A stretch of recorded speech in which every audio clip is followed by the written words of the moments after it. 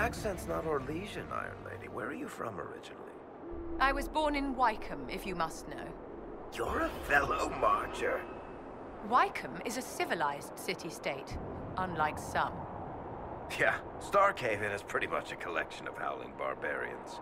Which is just slightly less foul than Tantervale.